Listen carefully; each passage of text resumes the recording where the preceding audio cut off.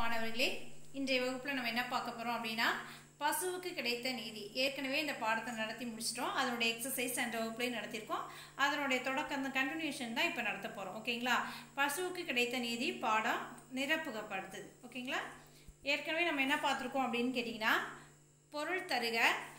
அடுத்தது பார்த்தீங்கன்னா எதிர்ச்சொல் தருக பிரித்து எழுதுக சேர்த்து எழுதுக நான்கு எக்ஸசைஸ் முடிச்சிடும் ஐந்தாவது எக்ஸசைஸ் வந்து நிரப்புக.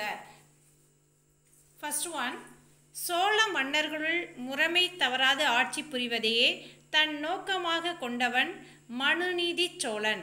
சோழ நாடு டேஸ் என்பதே உலகறிந்த செய்தி சோறுடைத்தது என்பது உலகறிந்த செய்தி. குடிமக்கள் தங்கள் குறைகளை தீர்த்து கொள்ள டேஷை பயன்படுத்தி கொள்ளலாம். ஆராய்ச்சி மணியை. ஆராய்ச்சி மணியை அடித்த விலங்கு டேஷ் பசு. கண்ணுக்கு கண் பல்லுக்கு பல். அப்போ கண் தான் டேஸு பல் டேஸ் அடுத்தது மாநகரம் மாமலை என்ற ஒன் ஒன்றை சிற்பித்து கூறுவதற்கு டேஸ் என்ற சொல் வழக்கத்தில் உள்ளது. மா. அடுத்தது வினாவிடை பாருங்க. ஃபஸ்ட்டு கொஸ்டின் மனுநீதி சோழன் ஆராய்ச்சி மணியை அமைத்ததற்கு காரணம் என்ன?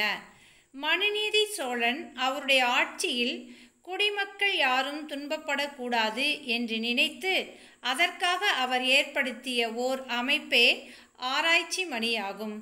பசு ஆராய்ச்சி மணியை அடித்தது ஏன்? அரசனின் மகன் தேரை தெருவில் ஓட்டிச் செல்லும்போது அங்கு துள்ளி குதித்து கொண்டிருந்த பசுவின் கன்று எதிர்பாராத வகையில் தேர்காலில் மாட்டி இறக்கிறது.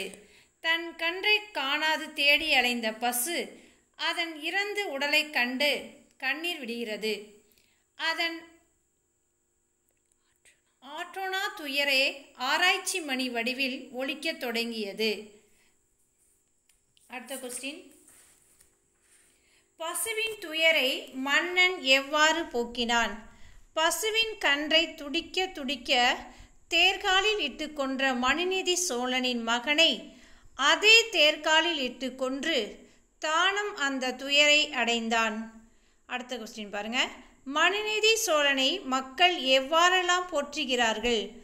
மண்ணுயிர் காக்கும் மன்னன் நீதி வழங்கும் நெறிமுறையாளன் என்றெல்லாம் மக்கள் போற்றுகிறார்கள்.